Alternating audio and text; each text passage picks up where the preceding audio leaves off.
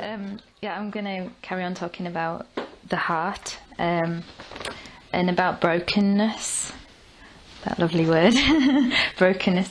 Um, and hopefully, by the end of it, you'll understand that God is looking for brokenness in all of us, that He wants us to have a broken heart.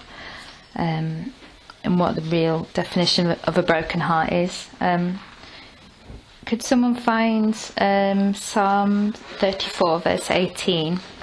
And someone else find Psalm 51, verse 17, please?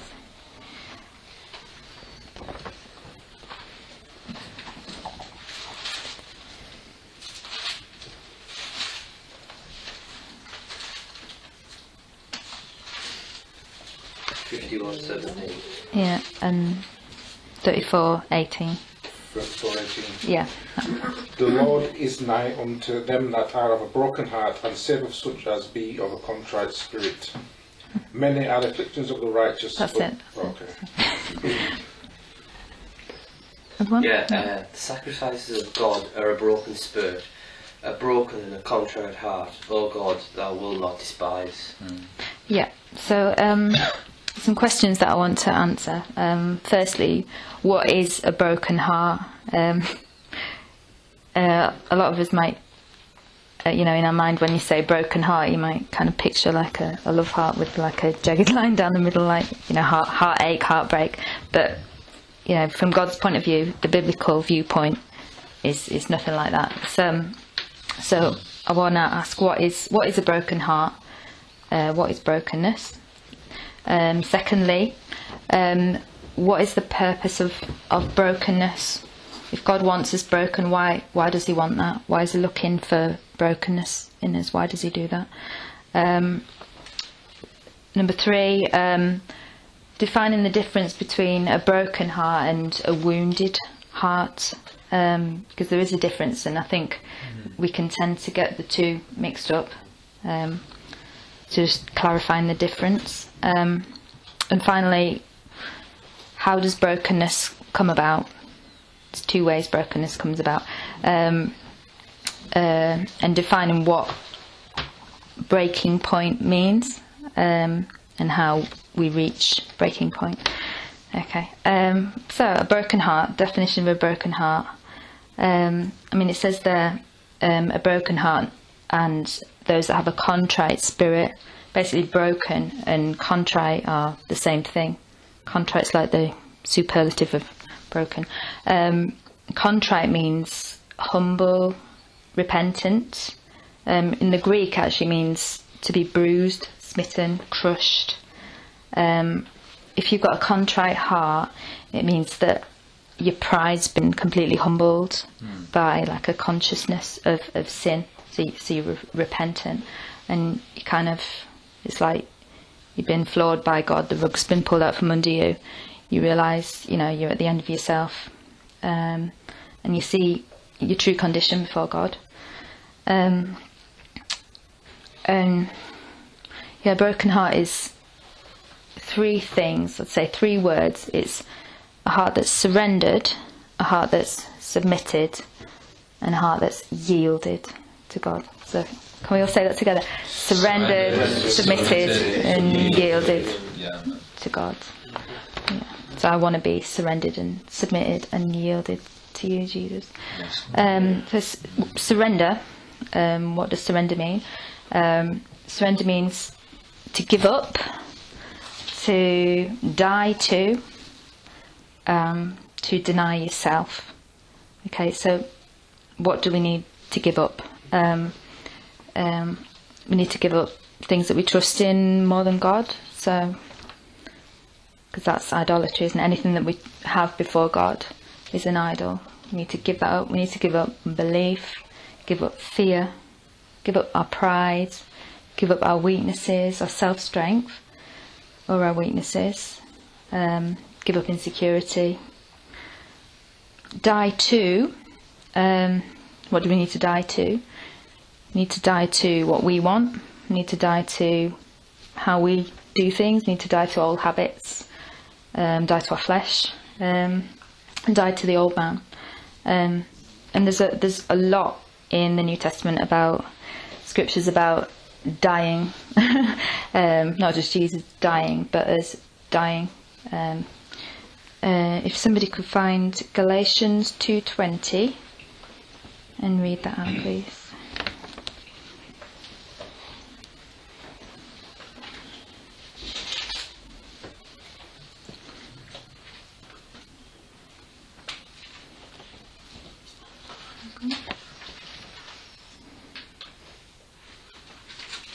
I am crucified with Christ, nevertheless I live. Yet not I, but Christ liveth in me. And the life which I now live, in the flesh I live by the faith of the Son of God, who loved me and gave himself for me. Amen. Um, uh, Colossians 3, verse 5, somebody?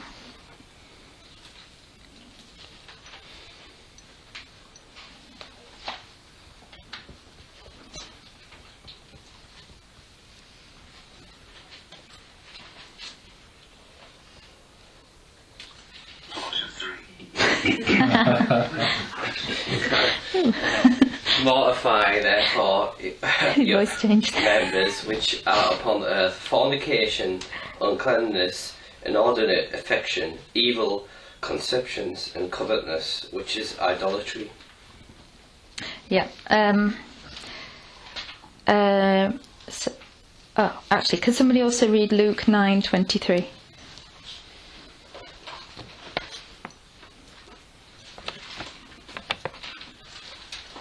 I want to ask the question: How how many times do we have to die? How many times do we have to deny ourselves? And this scripture answers that. Then he said to them all, If anyone desires to come after me, let him deny himself and take up his cross daily and follow me So how often do we have to die? daily. daily yeah it's, it's a daily thing it's like a daily decision um, to put your flesh to death we do it um, put to death your members which are on the earth no it's, it's something that we do um, and it has to be every day because like scott was saying the flesh is like is there it's ready to put up a fight every day so we have to put it down yeah so got to be strong-willed about that because if you're not the flesh will dominate you. Um, so yeah, I'm saying a broken heart is surrendered, submitted, and yielded. So that's surrendered. Um, submitted. Um, if you're in submission to someone, you put yourself under them. Um, so to be submitted means that you give up control. Um, so if you're submitted to God, you're letting God control your life. Um, so you're not in the driving seat. You're not in control. Um, so you make God like in charge. He's he's your all in all, um, and it's like, Lord, whatever you want, I submit to your will. What, what, whatever you want to do, you know, we need to get to that place of, you know, it's it's it's over to you, Lord. You're in charge. Um, oh, there's a there's a song um, that we used to sing in the in the church that we we were first in. Um, and it goes, um, the obedience song. Yeah, I can't sing, so I was trying to sing it. uh, it goes, obedience, love for the Father, obedience, my highest worship, obedience, rising with Jesus, no other way but the way of the Lord. And I, I love that song. Um, obedience, love for the Father, obedience, my highest worship, obedience, rising with Jesus, no other way but the way of the Lord. Um, yeah, and um, oh, there's an, there's another one. I'm gonna have to. I actually, I can I can teach you this one because it's quite easy. Um, the words are, um, "I want your will, Lord, come take mine. I want your will, Lord, come take mine. Everything that I've got in your hands now I drop. I want your will, Lord, come take mine." Do you sing that? I want your will, Lord, come take mine. I want your will, Lord, come take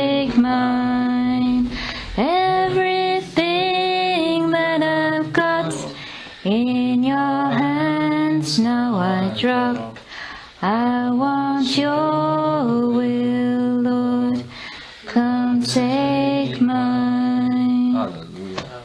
Yeah, these are these are songs of surrender. Yeah, I want your mind, Lord. So it's it's we we give ourselves away to Him. We we surrender ourselves. We submit to Him, and He gives Himself to us. And that's what we want, isn't it? That that's the exchange that we want. More of Him, less of, less, of us. There was a song just briefly called Let Me Love Without Honour, written by Watchman the Chinese guy. That was a good song. Won't say that.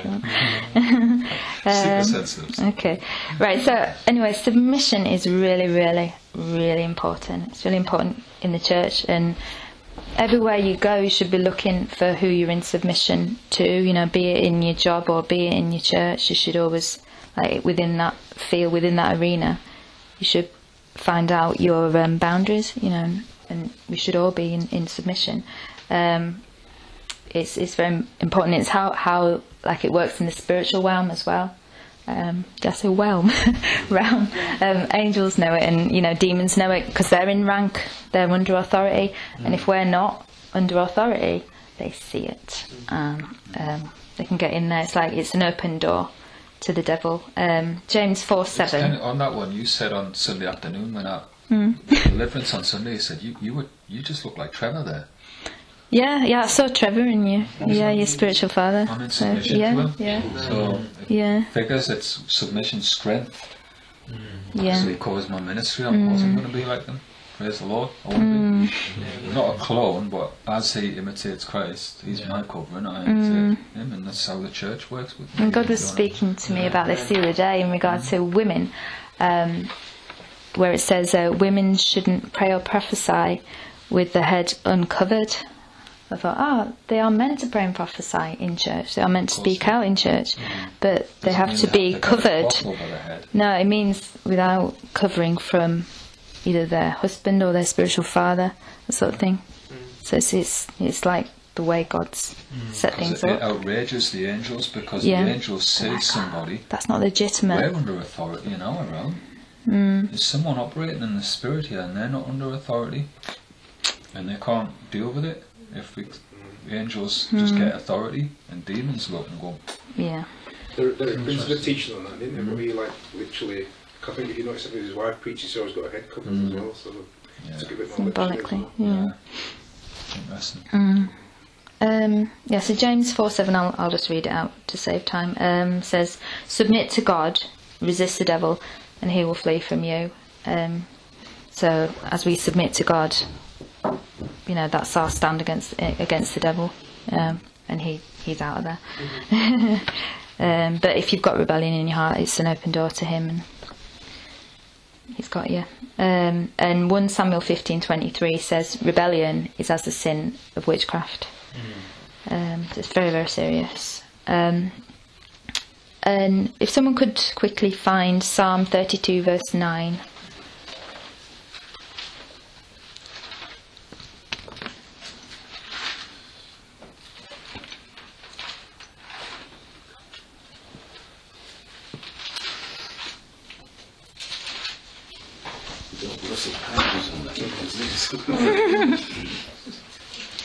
Be ye not as the horse or as the mule, which have no understanding, whose mouth must be held in with bit and bridle, lest they come near unto thee.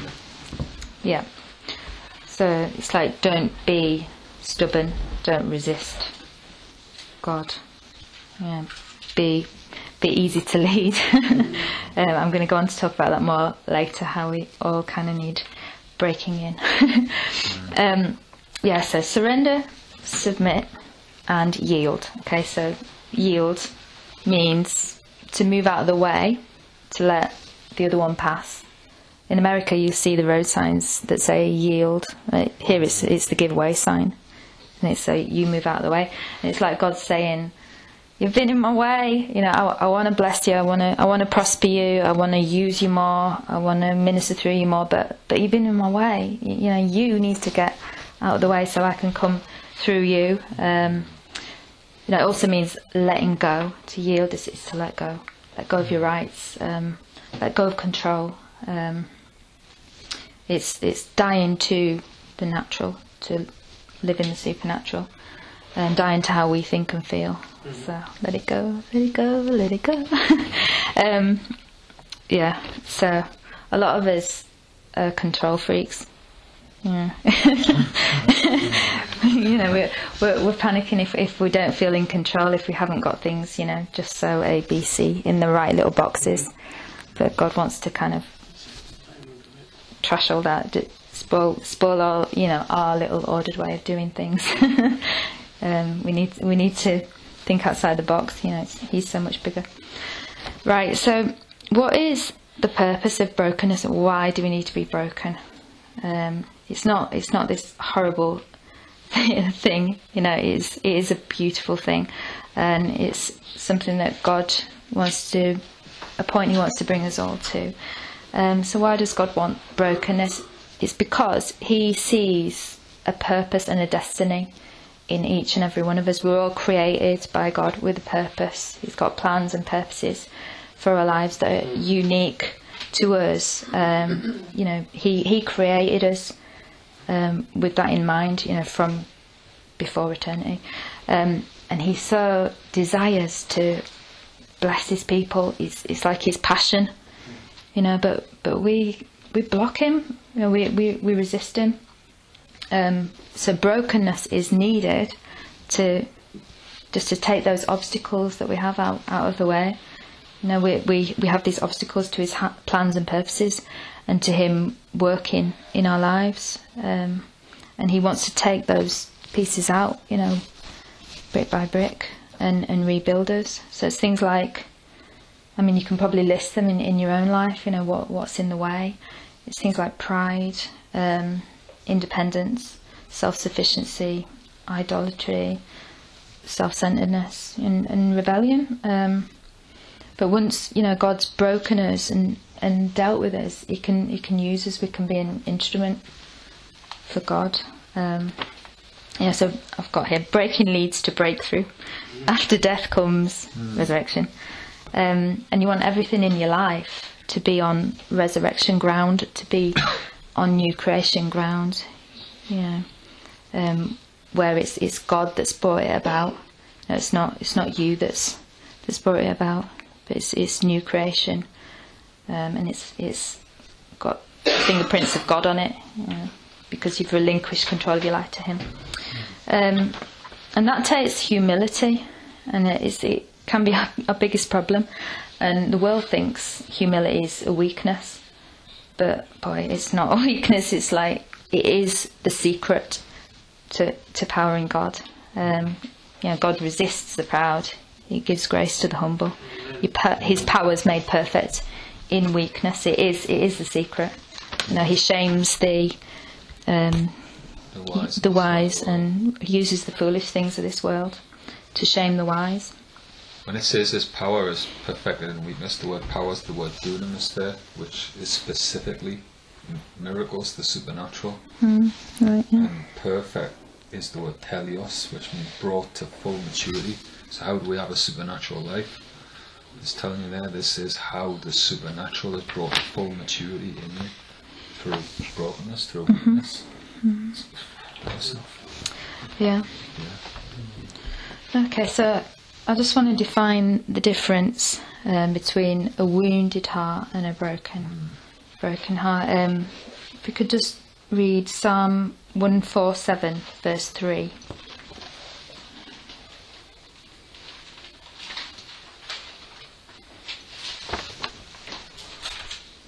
He who heals the brokenhearted and binds up their wounds. Yeah. Um, you have to be broken first before you can be healed. Do you get that from that verse? Um, you have to be surrendered to, to God. You have to be submitted to God. You have to have yielded your heart to God before He can heal you. How else can He work in your heart if you've not surrendered to Him? Yeah, and been broken. Um, so yeah, I think I think many people do confuse what the difference between broken and wounded. But a wounded person, um, and we, we've all been wounded. You know, we've all carried wounds. Uh, many of us still do. A wounded person is, is someone that's damaged. You know, they've got damage from the past. They've, they've got hurt, and their heart is it's infected. It's, they're messed up. You know, they might. It's like if you're carrying unforgiveness, for example, it's like poison to your spirit. Um, so there's there's bitter waters flowing out from your heart, and and like the Bible says, out out of the heart the mouth speaks. So it's it's going to come out of your mouth. That's why you you can never put a wounded person into leadership or into ministry. You could you can never lead a house of peace. You, because you, you're going to, you know, you're going to start off talking about God, but you're going to end up talking about your pain, um, and you're going to minister out of your wound. You're going to minister poison to to other people. Um, but brokenness is completely different. It's it's a beautiful thing. It's it's precious in the sight of God. Um, there's a there's a phrase I think Watchman Nee coined the phrase: "The olive olive crushed releases oil." Yeah. um, and that's that's that's the crushing that God brings. It's not it's not a crushing to destroy, but it's it's to release release beauty, and it's it is a sweet fragrance before God, like Scott was saying. It's it's a beautiful aroma, and it's it's what He's looking for. It's true worship. Is that broken and contrite heart. Um, it's pure and it's it's powerful. To, you know, on our end, it seems raw and painful. Um, but it's, it's what God does. Um, and I mean, from my own personal experience, um, in the presence of God, you know, I've, I've come to God with with wounds. Um, and there was one occasion um, I was quite young. I was, I was at university actually, and um, with some spirit-filled Christians, and um, we kind of got away from it all. One time we, we were just like we we wanted to just go and worship God, so we found like one of the music rooms uh, where there's a piano, and just there's about six of us, and just started playing and, and, and singing. Um, and I'd been a Christian about two years, and I, I just found myself crying, crying, crying buckets, and I couldn't stop. I didn't know where it was coming from. Um, it was like all my pain was coming out in, in God's presence. And um, one of the girls there, she was quite prophetic, and she she came over to me and said, um, "God says, it's like the the the bitter tears that you're crying now are going to turn into like sweet tears. You know, you, you, you're crying it out, um, but that's going to turn into like like living water." Because um, what God wants, you know, like rivers of living water springing up from within us, and that's what He's after. So He'll work on our heart in His presence. Um, he know He knows the heart better than better than we do. You know, He knows, you know, like a, a heart surgeon or whatever. He knows all the different chambers of the heart. He knows how it works. Um, and when he starts touching your heart in his presence, ow, it can be really, really, really painful, and we might not want to let him do that. Well, I'm looking at a picture of a heart on the wall there, it's nice. um, uh, but we need to just su- surrender before him and let him let him heal those wounds. Um, but yeah, he can he can only he can only heal us if we're first broken, if we first you know come to him in brokenness uh, and let just let go and let go of our pride that would stop us. Um, but it's so real and it's it's so beautiful. Um, yeah. Oh. quite serious. um, so how finally how how brokenness comes. Okay, so I said there's two ways that brokenness comes about. It's either um, a decision that you make on your own, or um, more commonly, God will allow a crisis. Um, he'll get you to a crisis point, um, like to get you to the end of yourself. so where you're, you're faced with the reality of what what a mess you are, um, what a failure you are, what a screw up you are, you know, um, and that's like your breaking point. It's, he, gets you to that point. He, he, he probes you to find that point. He gets you to that point so that you'll give up and surrender. Um, Could someone read Hebrews 12, 5 to, 5 to 11?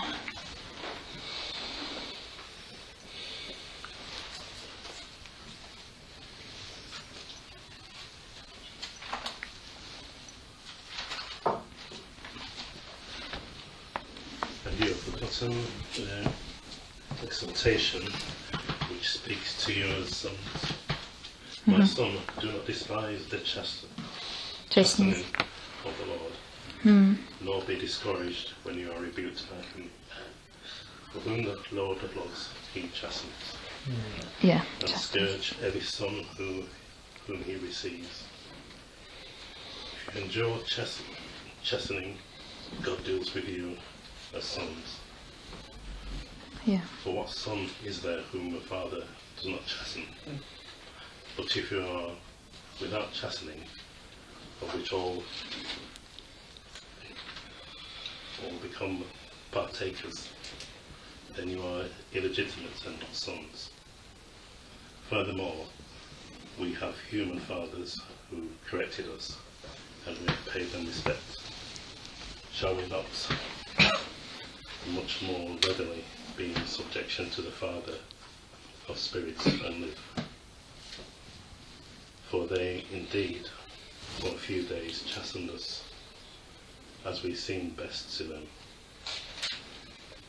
But he for our profit, that we may be partakers of his holiness. Hmm. Yeah, so the ch- chastenings of the Lord, it's, you know, it's, it's painful, but it's necessary and it's the proof that we belong to Him. You know, it's the proof that we're a son or a daughter of God. Um, that we don't like it at the time, you know, we, we don't like having our will crossed. Yeah. but God wants to break our will, you know. It's like like a child. Like I think of Zoe when sometimes when you cross a will, she'll actually literally throw herself prostrate on on the ground, you know. Throw, throw a big tantrum, you know. That's what we're like sometimes. Um, yeah. So we, we kind of have to be broken, or in like horsey language, um, broken in. I used to do horse riding um, uh, when I was a young teenager, and um, there was this horse, right? It's called. It was called Nipper, and the reason it was called Nipper was because um, he used to like to bite you if if you give him carrots or mince or whatever. He, he used to bite you, not hard, but he used to bite you, and then he used to like throw his head back and literally laugh. um, but that was that was the horse that I always ended up riding. Um, the first time I got on him, I think I was about eleven or twelve years old. Um, nobody warned me, but uh, he had a complete mind of his own. I mean, he was broken in supposedly, but um, I don't know if he was properly. Um, uh, and he just I got I got on him, and as soon as I got on him, he just took off where he wanted to go. We were supposed to be like going off as a group on like a hack, you know, like a long a long walk. And um, he he just took off, like, and he, he headed back to his stable and put his head down in in the stall. He just wasn't playing ball. Um, and then another time, uh, we were out on a, on a hack and um, cantering along like this group of horses, and then there was some gunshot wounds, uh, gunshot wounds, gunshot sounds um, in the distance, and he just completely freaked out. All the other horses were, were okay, you know, they just stopped and stayed as a group, and he just like um, bolted, like with me on him in a in a big circle, like freaked out completely, um, and then threw me off out out the other horse's legs. Um, I can't remember if he ran off after that or what, but I was really shaken. You know, he was he was quite a crazy horse. Um, but over time, um, I kind of built a relationship with him, and you know, he was getting, I guess, more broken in, and um, you know, a couple of years later, uh, I went in for this gymkhana, if you know what that is, um, with him, riding him. Um, gymkhana is like where you do like different different jumps, and um, it's quite controlled and quite coordinated, and you know, you, the horse and the rider have to really work together as a team. And um, and we won the gymkhana, me and me and Nipper, um, and it was it was amazing because he, he was a really really powerful horse, and that's the point I'm trying to make. He was he was such a powerful horse, such an intelligent creature, really sparky, but um, he he had been really rebellious. Um, but he could be trained, and when he was like in submission, he he was brilliant. You know, he was he was so powerful, so graceful, and like oh, what's it? The word meek, right, means strength under control. And apparently Scott was Scott was saying um, to me the other day, meek, a wise one. meek means it was used in um, the ancient world in like the, for horse racing. Um, A horse was described as being meek. yeah, when it's like broken in. It's broken.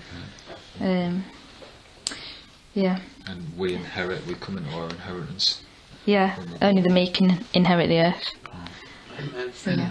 Um, yeah. So, um, so worship. I mean, Scott's already said this. This is why I said he, he stole my stuff.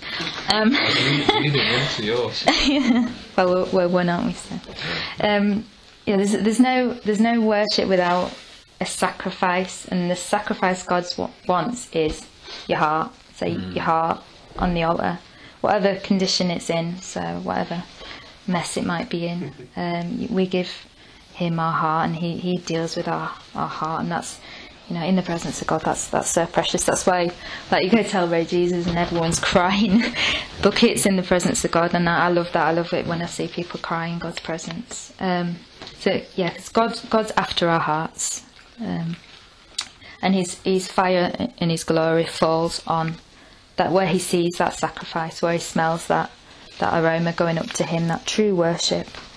His His fire comes down. So I just want to exhort us to like get real, get really raw before God in our worship.